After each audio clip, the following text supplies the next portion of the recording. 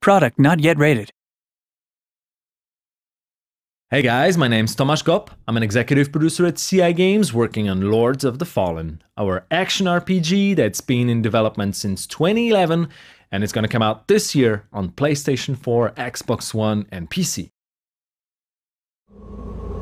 Let's roam a little bit around Old Monastery, and in the meantime, I'll tell you about some crucial ideas that drive the development of our game.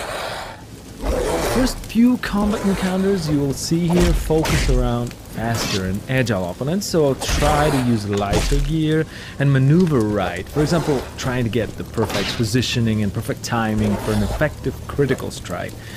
It requires a little bit of practice, but is well worth the effort. The world we set the game within is very old, and the legend has it that a couple thousand years ago, people have fought and successfully defeated their god together with his demonic army, and it's since then that they believe evil can be completely cast away from human nature. Each individual who commits a deadly sin is forever marked with a tattoo across the face, becoming an outcast for entire lifetime.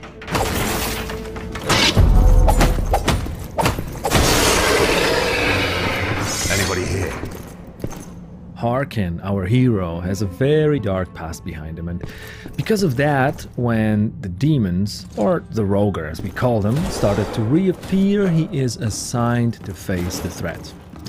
It's almost as if people believe that they can fight evil with evil. Oh, and by the way, it's worth mentioning that we really put a lot of work into highlighting the feeling of intense duel within each single one on one encounter that you will come across. Here, this next enemy normally would not be much of a hassle because he's mainly attacking from a distance, but surprise, surprise, there's a second one. So we gotten ourselves into more or less a one versus two situation. If I want to be extra efficient in situations like this, I always try to pull off a special dual wielding combo with the daggers. It requires the timing, but the DPS is definitely worth the try. The game will also unlock new worlds for you to explore once you advance on the story path, but the ones you just left are not locked away from you. It's not only possible, but also very encouraged to re-explore the places you've already visited and the new areas will open up, presenting you with new loot and new opponents.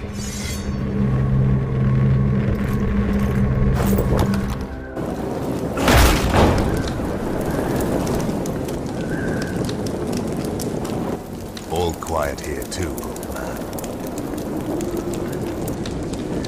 I'm not leaving without answers.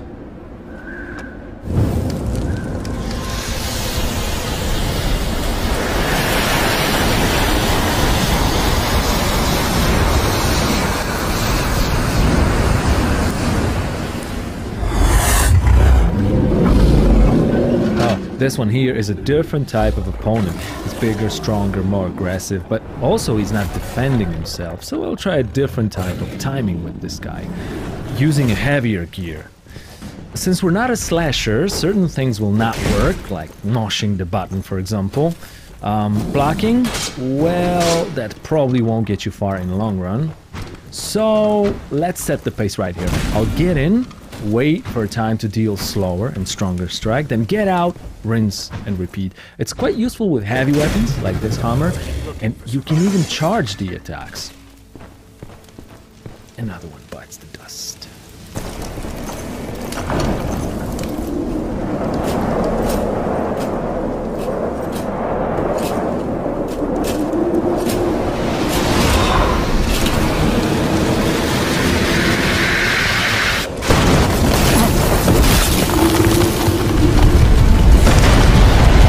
Okay, let's jump straight into a boss fight now. This is going to be the first boss of the game. We call him First Warden. And we wanted him to resemble an honorable knight, uh, fighting and obeying his demonic codex. Gameplay wise, our goal was to mix action with RPG in a way where all elements, including story, world, and characters, revolve around the user experience. In our case, that means combat and character development.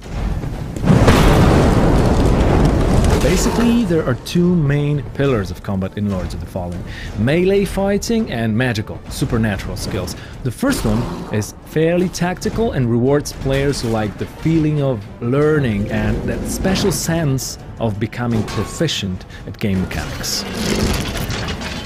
The magical side of Lord's Combat, on the other hand, even though it's not covered in this video, is designed to feel very spectacular and powerful. But that is also not the only reward that comes with using it. Our goal was to give players the means to distribute the process of learning how to play the game along the time they choose. You'll always be able to use magic at times when the difficulty spikes, so it's up to you if you want to use advanced strats instead, especially if that might get you a better loot. Three character classes that you can choose from at the start of the game. Warrior, Cleric and Rogue, and they will determine the set of spells that manifest your playing style. Apart from that, the statistics of a character, the gear that you want to use can be freely mixed regardless of its suggested class association. For example, if you're more into heavy weapons but still want to keep that light rogue armor, there's no reason not to try this combination out. Or defensive play with a shield or an offensive dual weapon approach, they both can be mastered and become lethal with enough skill and persistence.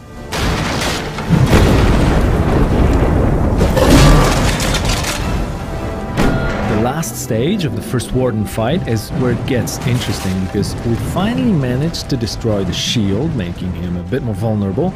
At the same time, we pushed his aggression a little bit over the edge. If you remember not to get greedy and deal too much damage at too short amount of time, you can make it. Just please, try to avoid his special attack as it can stun lock you and of course, we wouldn't want that, would we?